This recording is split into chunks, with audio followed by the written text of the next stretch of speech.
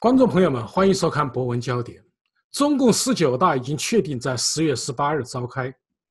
十九大将产生新一届的中央委员会和中央纪律检查委员会，之后会产生新一届的中共领导层，包括政治局委员和常委。围绕十九大的权力斗争早已开始。孙政才被调查，军委联合参谋部参谋长房峰辉被策换。这次会议被认为事关中国未来的政治走向。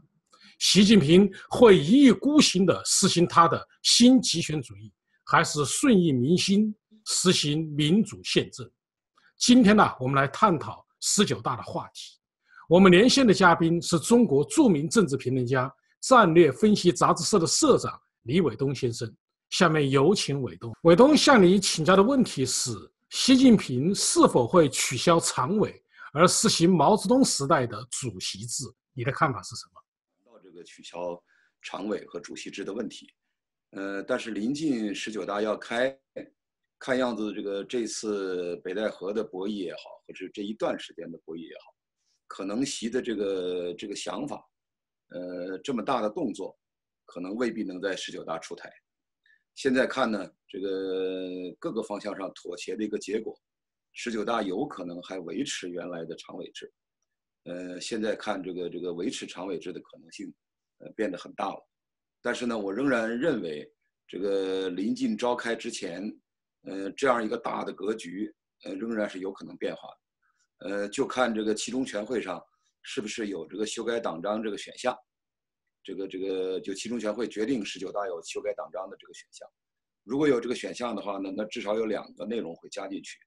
一个是习近平理论或者习近平思想，呃，第二个呢，大概就是整个呃中央委员会上面的这个决策机构，就是政治局，呃和这个主席制或者总书记制这样一个选择上的一个一个改变，呃，如果这个他最近这段时间的博弈仍然可以达到这样一个高水平的话，呃，那么实行主席制仍然不是没有可能。但是我我目前的判断，认为维持原来的常委制的可能性变得很大。伟东，你刚才谈到了，就是啊，实行主席制是有可能的，但是目前来说，可能保持常委制仍然啊是现在是必要的。那么我的问题是，如果保留常委，他的人数会是多少？有的人说是七个人，有的人说是五个人，还有的是哪些人可能入常？呃，是这样，这个还回到主席制这个问题上补充说几句。如果实行主席制呢，我原来估计等于修改党章之后，一次性的给习近平赢得了一个新的十年任期，就是这样的话，就给他的总任期呢达到了十五年。呃，如果不实行主席制呢，这就带来一个困难，就说你你如果继续实行常委制，原有的这个中央组织机构不变。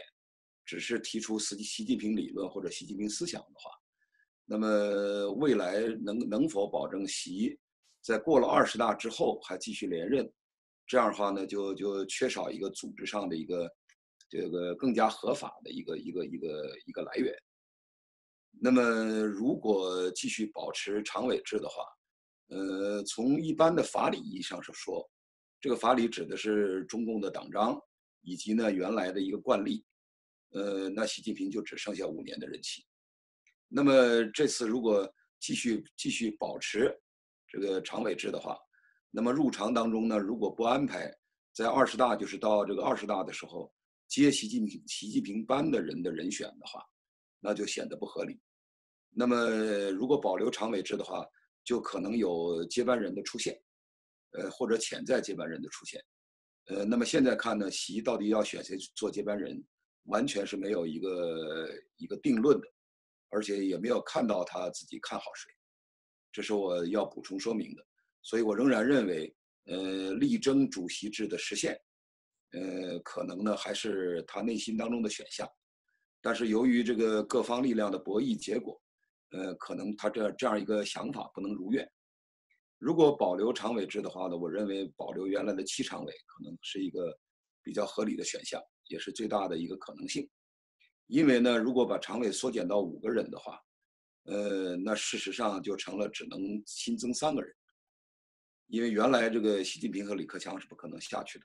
这两个都都是只任了一届，而且年龄也没有过杠。呃，所以呢，习近平和李克强是一个当然的常委人选。呃，那么如果缩减到五个人，就只剩下三个了。如果扩张到九个人，恢复到这个这个十七大的一个格局的话，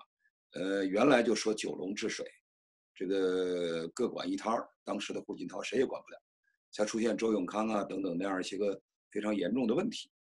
那么，所以我认为呢，保留七个人的可能性更大。那么，如果组成一个七人人选的话，前一段时间，这个读卖新闻曾经发布了一个七人人选的一个一个名单。我对这个名单呢，这个没有更多的不同意见，它有他的消息来源。我只对其中的这个王沪宁是否可以这个成为新的常委人选持怀疑态度。我觉得可能如果有新增的五个人的话，就是呃韩正。呃，栗战书、汪洋、胡春华，呃，下一个最大的可能性可能是赵乐际。呃，王沪宁未必能够上得来。呃，至于这个这个，呃，在给习，比方说这个，呃，弄习思想，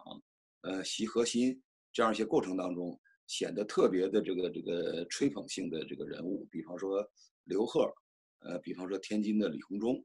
呃，我也觉得未必能够上到常委这个层面，呃，所以呢，我我个人的评估，呃，只对这个读卖新闻当中做一个人员的调整，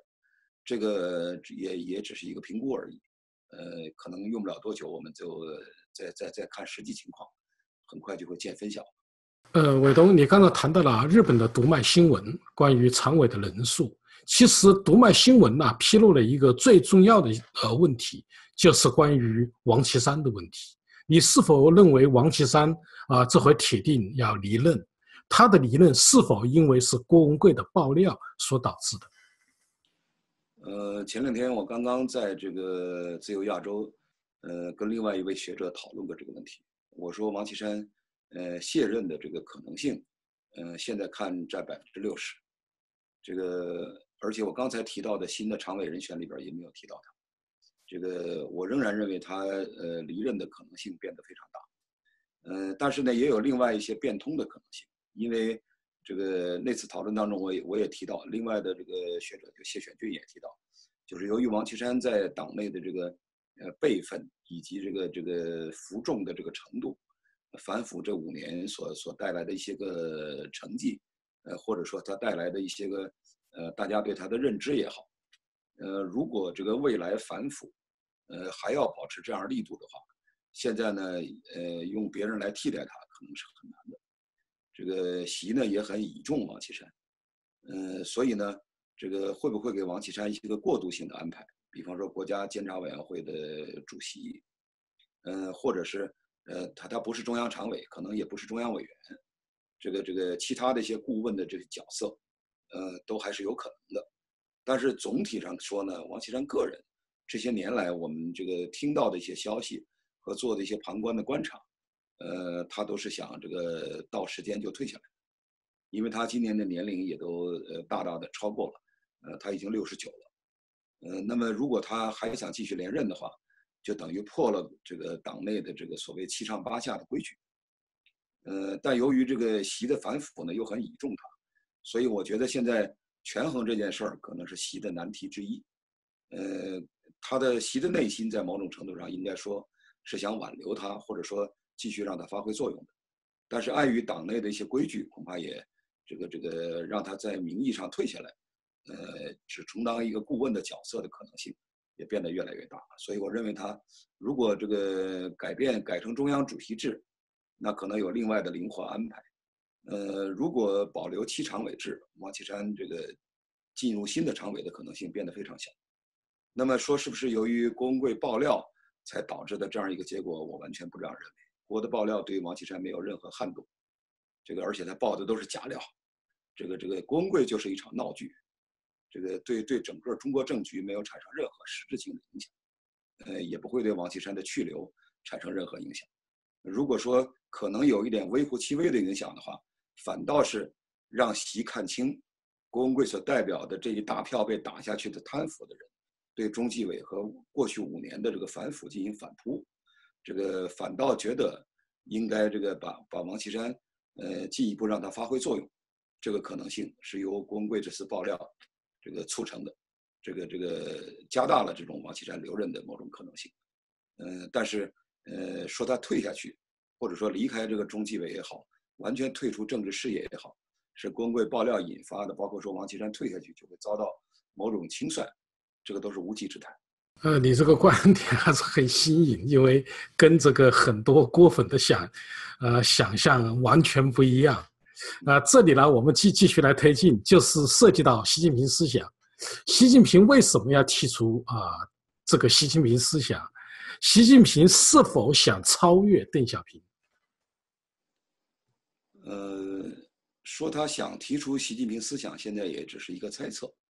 这个，而且呢，在邓小平理论这件事上，这个包括什么三个代表啊，什么和和谐发展观，这当然是党内正式文件以及正式说法的一个套话。但是习上台以来，从从来没有按照所谓邓小平理论来做，更没有按照所谓三个代表来做。呃，和谐社会也也是这个这个，并不是他们这个执政的一个指导方针。那么提出新的一套理论主张，包括这个。呃，提出习的理论或者习的思想，已经有一段时间在各种党媒和各种这个高级官员的口中，这个反复提到过了。那么这次呢，这个习近平执政已经五年，在他第二个任期提出他的理论，并且写入党章，呃，这也是江江和胡那个时代留下的一个传统，每个人都把自己的这个某种理论、某种某种说辞写入党章。所以习这样做呢，也是萧规曹随，这个提出自己的这个这个整个的一个一个见解，呃，一套理论主张写入党章，这个倒不是他独出心裁，因为江泽民和胡锦涛都是这样做。那么把习的某种理论写入党章，也是一个一个一个顺理成章的事。问题是，呃，江泽民也好，胡锦涛也好，都不敢把自己的这个这些主张叫做叫做理论。因为邓小平那个在毛泽东思想之下叫做理论，邓小平理论已经把他们压住了，所以呢，江泽民和胡锦涛都是往下这个等而次之，这个提出若干政治主张，呃或者系统的政治主张，呃把它写入党章。那么习近平敢不敢把自己的这套这个做法直接叫做这个理论，叫做习近平理论，或者呢直接跟毛泽东比肩，叫做习近平思想？呃，我认为他有这个想法。也有这个，现在也有这种，呃，达成他自己意愿的能力。呃，我更倾向于这个他这个以个人他的个性和现在党内各方面这个呼吁他形成的一个核心地位而言，他直接提出习近平思想的可能性变得非常大。直接提出习近平思想，等于是我曾经五年前就说过，整个太子党的一个一个意愿，就是从毛泽东到习近平。画圆这个一百年的这样一个圈儿，呃，这一百年的圈儿呢，包括毛泽东提出来的什么，呃，这个这个为全中国人民如何这样一些口头的说法。那么到习近平到二零二一年，他仍然在总书记或者在党主席的这个位置上，正好是中共建党一百周年。那么这一百周年，他要宣称他自己实现了这个这个高水平的小康社会，呃，实现了的多重现代化，四个现代化，五个现代化。等等，呃，让中国呢重新在在国际上赢得了一个一个一个大国地位，等等。他认为他等于把毛早年提出来的一个设想，或者整个中共提出来的一个一个政治理想和愿景，由他这一任来完成了。所以呢，他认为他有这样的资格，也有这样的这个地位，可以这样做。所以呢，我觉得直接提出习近平思想的可能性变得非常大。伟东，大家关心十九大。实际上，一个很重要的原因就是关心中国未来的政治经济的走向。呃，习近平上台以来已经过了五年，他有很多行为引起了人们纷纷的猜测。有人说他会走向啊毛泽东时代，返回那个时代；也有人说他是一种新极权主义；也有人说他实际上是要实行民主宪政。比如说啊，冯胜平先生就一直坚持这个观点。那么十九大以后，呃，中国的政治经济的走向到底会向哪个方向走？呃，想请你系统的谈一下。呃，首先我我不同意冯胜平先生的这个说法，包括还有其他一些人，这个包括明镜，还有海外的其他一些媒体，都在这个这个宣称习近平的新集权，这个是为了未来要走向民主宪政。国内也有若干学者，呃，这么多年一直坚持这样的看法，这个是我始终都不同意的。五年前我就发表过这个走不通的红色帝国之路，而且我后来对红色帝国做过新的解读，这个这个当年就是这样解读的，后来系统阐释过，就我把它叫做新纳粹主义。这个那么这个这这是这个习上台以来整个红二代等于用党来绑架国家，一直。这个这个让国家的这个这个某种现代化和更加这个富强强大，呃，同时呢，带着中共这个党从腐败和这个六四以来带来的阴影当中突围，这个是一直他们设想这样做的，而且这个这个选择的道路等于说说是什么呃获得了宇宙真理等等，呃，坚持共产主义等等，呃，这些东西都是呃试图在整个人类文明当中。开辟出第二种文明，这个我们我们一直讽刺这个第二种文明这个存在的可能性，因为我们一直在坚守和坚信一个普世价值和民主价这个民主架构的存在是人类的一个一个真正的光明的道路，而而中国所宣称的中共所宣称的呃共产主义也好，呃特殊的这个这个文明历史也好，这个反正跟全人类都要不一样，自己要走一条独特的道路，我认为是走不通的。那么总体上走不通，不等于它不能取得短期内的某种快速经济增长的成果。所以，我我一直觉得，这个很多人认为中国经济即将崩溃，整个这个经济状况极为恶化。呃，那么由于这种经济崩溃论和整个社会崩溃论在即的这样一种判断，也导致了在这个呃反对中共集权、建立民主宪政道路上一种急于求成和战略战术方面的重大失误。我一直说，中共现在这种新纳粹主义只相当于当年德国的1936年到37年这样的水平，就是无论是统治能力还是经济增长的势势头，都是一九三六年。我之所以说这个时间概念，是因为那一年，呃，纳粹法西斯就希特勒这个召开了奥运会，这整个德国还如日中天。那么你看，今天中国在全球范围内，这个军力迅速增长，这个经济总量迅速增长。而且全球范围内都在对中国这样采取的这样一个极权主义，尤其是以美国带头，由川普总统带头，采取了全面的绥靖主义，这跟当年德国德国所面临的这个这个境况是非常接近的。中国要想，比方说这个这个推翻集权暴政，这个改变社会制度，呃，建立民主宪政等等，这样一些愿景，可能还需要比较长的一段时间。那么在这个意义上说，这个习上台以后的。这个这个经济走势和总体上的政治态势，短期内不会出现什么太大的问题，除非他在党内，我也说过，他遇到三大天敌，这个一个天敌是互联网，一个天敌是这个这个呃自然环境啊等等这样一个经济发展模式，对整个中国经济和自然环境的破坏，第三呢就是这个八千万党员跟他并不是同心同德，他要求的这个没有腐败和共产主义理想。这两条都是很难做到的，虽然他有这么多的这样的困难，但是短期内说，他就遇到重大问题，这个还为时过早。那么未来的经济政治走向，我觉得第一就是这个资本的这种对外扩张。现在由于中国的资本过剩，然后呢，这个提出的一带一路等等，我我说这叫用中国模式祸害完中国，要祸害全世界。但是现在这件事儿才刚刚开头。那么，中国在未来的五年当中，全球性的资本扩张会变得势头很猛。虽然这个这个这个资本扩张本身是这个压榨中国老百姓，用中国模式这个获得的这个财富，但是呢，呃，现在这样一个压榨过程仍然有很大的余地。呃，中国各地的这种民间的反抗和这种这个反经济压榨的这种这种动力和能力都很弱。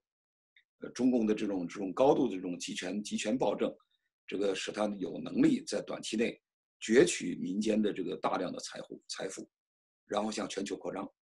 这是一个这个这个经济发展势头。而这种全球扩张呢，在某种程度上会得到很多国家的支持。这个很多国家资金匮乏，很多国家呃具有这种经济巨大的发展潜能，中国的资金进去，中国的公司进去。会给中国带来进一步的财富。那么政治方面呢，如果他进一步这个集权的话，现在已经取得核心核心地位。我已经说过，他拥有了这种元首的资格。我也说过，这个如果以毛泽东的权力指数为一百，我给邓小平呢打八十分。就是毛泽东为一百，他就是毛泽东已经是神、教主以及这个党党政军的一把手。邓小平呢，并没有这个这个成为神，也没有成为这个党政军的一把手，而且这个他执政期间呢，也受到八老以及前面这个这个挂着牌子的总书总书记胡耀邦和赵紫阳的某种掣肘，他并并不能达到完全的这种绝对的决策决策权。所以我给他百百分之八打了八十分。那么呢，我也说过，他是毛泽东是皇帝和神，邓小平呢是贵族共和的国王，而习我给他打九十分。这九十分的含义是说，他已经建立了元首制，在一定程度上已经远远超过了邓小平。所以在党内的进一步集权，而且发挥元首的功能，这个一声令下，然后这个呃听不到任何反对声音。他的决策可以百分之百的被通过，而且被执行，这是政治方面更加高度集权的一个表现。未来五年也会这样子。那么会不会引起内部的反弹？我们在观察。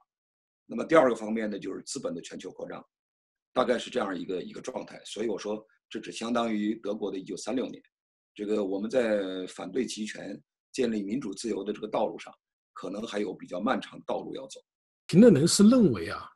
呃，习近平要想达到。邓小平和毛泽东的这种地位，他还缺少一个东西，那就是军功。所以说，有人认为，在习近平任上，他会发动一场战争来证明自己的军事能力。你有没有这种看法？呃，我五年前就说过，他不仅要要这个这个当呃又又一个版本的毛泽东。当然，我不同意他会回到毛泽东和文革。我一再说，他要回到文革前的刘少奇主义。就是这个高举毛泽东思想、马克思主义这些东西，但是实际上是经济上适当放活，然后政治上高度集权，然后又反右派。这这这个刘少奇当年就是这么做的。嗯，那么现在呢，他基本上是在沿着这样一个路子在走。我五年前也说过，他还想这个成为一代统帅，一代这个这个这个伟大的统帅。所以发动一场战争，在这任内，特别是第二个五年，呃，变得可能性越来越高了。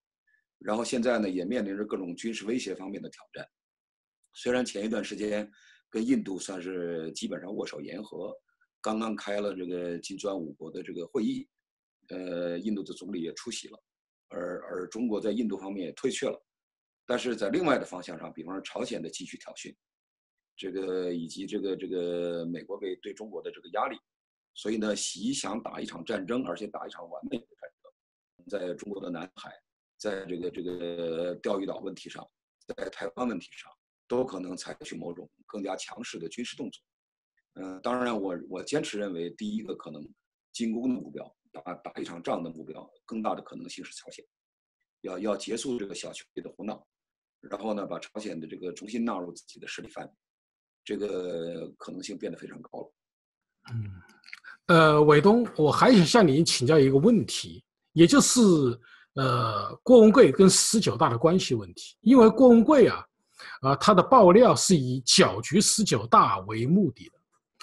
但是我们来看他郭文贵的这个爆料，应该说他看到了中共的贪腐，应该说问题是找到了，同时他也选择了一个好的时机，但为什么郭文贵，呃，就不能成事儿？从目前的情况看，他的爆料即将落幕。越来越多的人不相信他的爆料，就说对中共实际上没有什么影响。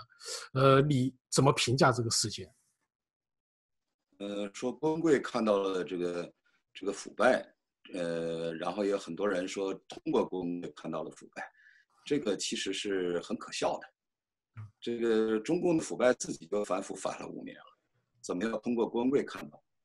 这个这个呃，而且这个腐败的程度，呃，中共自己揭露出来的都已经相当的严重。那么当然，这个这个还有更为严重的情况，还可能还没有揭发出来。这个我们前些年也一直在批评中共这个反腐是选择性的，我们一直说对红二代没有任何的这个这个反腐方面的这个举措。呃，那么这个反腐呢也是不彻底的和这个选择性的。那么郭文贵看到这个呃，大家在反腐的问题上有有很大的这种群众方面的这种公约数，所以他利用反腐这样一个由头，呃，来搅局十九大，这个也也也是他的聪明之处，因为他自己要所谓要三保，就是这个这个呃保保钱、保命、报仇等等这样一个说法。然后利用十九大开之前的这半年的时间，呃，掀起一个很大的一个舆论风潮，这个这个似乎由他可以接触更大的腐败，而且他一开始就宣称，如果不把王岐山干掉，或者说不按照他这个思路反腐，就没有十九大了。他本他说他的本意上是要保护十九大，保护习主席。那么最后的结果，大家慢慢看清，他实际上是代表着被打下去的那个贪腐那那那那那一大批人。这个他公开的跟那些贪腐的官员名媛叫屈，他他他直接给那那些被打下去的反腐这个被腐败打下去的那所谓几十万官员，包括什么几百万家属公开名冤叫屈，呃，这个也是大家都看到的，这他明显的是要这个这个采取所谓清君侧的方式，呃，来来这个在十九大之前，代表腐败分子包括他自己这个来一轮反扑，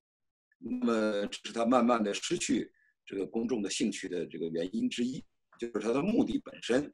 是非常的这个这个可笑，呃，而而且是代表腐败的那一方的。这个其次呢，他所这个做的这个所有的事情，所谓的所有的爆料，到目前为止，我在推特上有统计，呃，除了一两件小事是真的，这个这个绝大多数的重要的爆料，通通都是伪造。那么，通通都是伪造的，他他怎么让人相信呢？慢慢真相浮出水面之后，大家也就不信他了。所以他对中共的十九大严格说来是没有任何影响，也没有起到既没有起到搅局的作用，也没有起到保卫的作用。他不过是十九大之前的一场闹剧，一场国际上舆论上的闹剧而已。所以你说他这个好像拿着一手好牌，然后利益也很高，然后最后怎么就突然变成这个样子了？这个东西就是假的，真不了，假的早晚有一天要露馅。这个这个，他靠一种编造的东西、造谣的方式，来想要影响中国政局，通过威胁这个这个中共这样一个强大的集权的方式，来想获取他自己的利益，这些都是办不到的。历史上从来没有这样成功的先例，他自己这样一个闹法本来就办不到，加上他个人的人品，然后今天这样说，明天那样说，他自己暴露出来的各种各样的问题，这个这个包括他。这个这个指控中共官员的所有的那些腐败和恶劣的个人行为，他指控那些事儿，通通在他自己的身上都存在，都被揭露出来。他本来就是这样一个人，所以我觉得他最后这个你说要落幕也好，最后失败也好，这都是他这个个人的人品以及他自己采取这个方法所必然的一个结果。这个不足为奇，也不值得可惜。观众朋友们，李伟东先生为我们分析了中共。十九大的召开、人事安排以及未来中国的政治走向，他指出，习近平要打造一个红色的帝国，他的梦实际上就是新纳粹主义之梦，他是不可能实行民主宪政，中国将进入一个新的历史阶段，但它不是福音，而是痛苦和灾难。回顾历史，有人说多难兴邦，但只有身处灾难中的人才知道。信百姓苦，亡百姓苦。好，各位观众朋友，今天的节目到此，感谢您的收看，也感谢李伟东先生。